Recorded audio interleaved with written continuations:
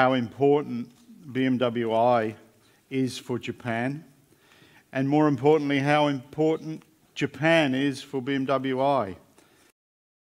i シリーズは BMW が新たに立ち上げた電気自動車やプラグインハイブリッド専用車など電気を主な動力源とする車のシリーズです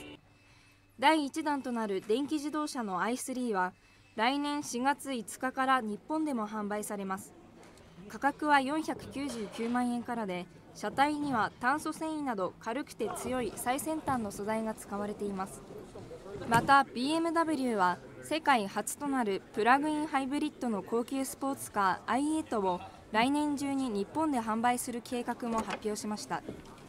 価格はおよそ1900万円です。アベノミクスによる株価の上昇などの影響で高級輸入車市場は活況が続いています。